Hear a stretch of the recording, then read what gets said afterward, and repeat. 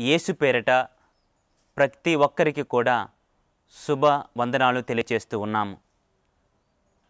ఈరోజు యావత్ భారతదేశం అంతా కూడా సంతోషించదగినటువంటి విషయము. ఈరోజు మన కొత్తలకు తిరుసభ పునీత మదర్ తెరేసా గారి స్మరణను చేసుకోమని ఆహ్వానిస్తూ ఉంది. ఆమె నుండి మనం చాలా విషయాలు నేర్చుకోవచ్చు. ఒక మూడు విషయాలను ఈరోజు మనం గుర్తించుకుందాం. ఆమె జీవితం నుండి మనం నేర్చుకుందాం. మొట్టమొదటిగా పిలుపులో పిలుపు. మనం ఎవరైనా సరే అనుకున్న లక్ష్యాన్ని చేరుకున్న తర్వాత ఆగిపోతాం. ముందుకు వెళ్ళం. కానీ ఈమె ఒక అమ్మగారిగా దేవుని పిలుపుని అందుకొని అక్కడితో ఆగిపోలేదు. ఇంకేదైనా నేను చెయ్యాలి అని ఆమె తలంచి కొత్తోళ్ళు కలుకొత్త నగరానికి వెళ్ళి అక్కడ సేవలను అందించింది. చాలామంది ఒక ఉద్యోగం వచ్చిన తర్వాత తమ గమ్యస్థానానికి చేరుకున్న తర్వాత ఆగిపోతారు. ఈరోజు మదర్ తెరేసా గారి నుండి మనం నేర్చుకోవాల్సిన విషయం. ఆగిపోకండి. ముందుకు వెళ్ళండి. దేవుడు మనల్ని ఇంకా నడిపిస్తాడు అనే విశ్వాసంతో ముందుకు వెళ్ళింది. మనము కూడా ఆ విధంగా ముందుకు వెళ్ళాలి. రెండవది మనం నేర్చుకోవలసినటువంటి విషయం ఆ మదర్ తెరేసా గారి నుండి.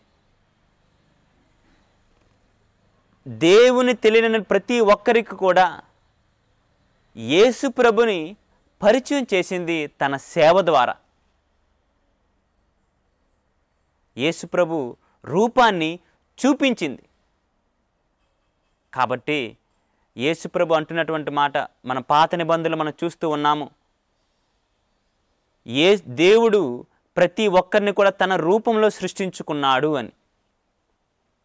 కానీ ప్రతి ఒక్కరు కూడా దేవుని స్వరూపాలే. కాబట్టి మనమే దేవుణ్ణి వాళ్ళకి చూపించలేకపోతూ ఉన్నాం. మదర్ తెరేసా తనకున్నంతలో దేవుణ్ణి ప్రతి ఒక్కరికి కూడా పరిచయం చేసింది తన సేవ ద్వారా.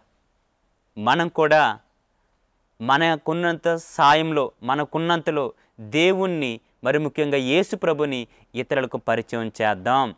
దేవుని రూపాన్ని చూపిద్దాం. మూడో విషయంగా మన మదర్ తెరేసా గారి నుండి నేర్చుకోవలసినటువంటి విషయము ఏమీ లేని పరిస్థితుల్లో కూడా దేవుని మీద ఆధారపడి ఉంది. డబ్బొక్కటే మార్గం అని అనుకోలేదు. దేవుని సేవ చేయడానికి దేవుడే నాకు అన్నీ ఇస్తాడు. దేవుడే నాకు ఆధారము అనే విధంగా జీవించింది. ఆమె ఒక్కరితో ప్రారంభించినటువంటి ఆ దేవుని సేవ ఈనాడు ప్రపంచంలో ఉన్నటువంటి ప్రతి దేశంలో దాదాపుగా ఆమె సభ ఉందంటే కారణము దేవుని మీద ఆమె ఆధారపడి జీవించింది. మనము కూడా ఏమీ లేదని అనుకుంటే సరిపోదు. దేవుడు మనకి మన దేవుని మీద ఆధారపడితే దేవుడు మనకు అన్నీ సమకూరుస్తాడు అని ఈరోజు మనం తెలుసుకోవాలి ఈ యొక్క పునీత మదర్ తెరేసా గారి జీవితం నుండి. మరి ముఖ్యంగా ఈరోజు మన భారతదేశంలో ఉపాధ్యాయుల దినోత్సవాన్ని జరుపుకుంటూ ఉన్నాం. ఉపాధ్యాయుడు అంటే ఎవరు? మన మార్గాన్ని సరిచేసేవాడు. మనకు మార్గాన్ని చూపించేవాడు. మన జీవితంలో ఎన్నో మార్గాలు ఉన్నాయి ఎటు వెళ్ళాలో తెలియదు. మరి ముఖ్యంగా యవ్వనవస్థలో ఉన్నటువంటి యవ్వనులకు. ఏం చేయాలా? నేను జీవితంలో స్థిరపడాలంటే ఏ మార్గాన్ని ఎన్నుకోవాలా? అనే సతమతమవుతూ ఉన్నారు. మార్గ దిశను మార్గాన్ని చూపేవాడే ఉపాధ్యాయుడు.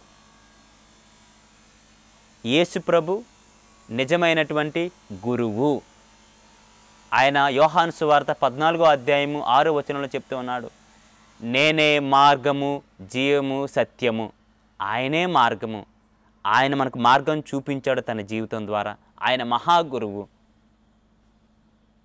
ఈ ఉపాధ్యాయ దినోత్సవం నాడు మనం ఈనాడు ఈ స్థితికి వచ్చామంటే కారణము మన ఉపాధ్యాయులే. కాబట్టి ఈరోజు మన ఉపాధ్యాయుల కోసం ప్రార్థించుకుందాం. మన జీవితం దిశను మన జీవితం మంచి భవిష్యత్తును వాళ్ళు కోరుకున్నటువంటి వ్యక్తులు. కాబట్టి ఈనాడు వారి కోసము వారి కుటుంబాల కోసం మనం ప్రార్థించుకుందాం. ఆమెన్.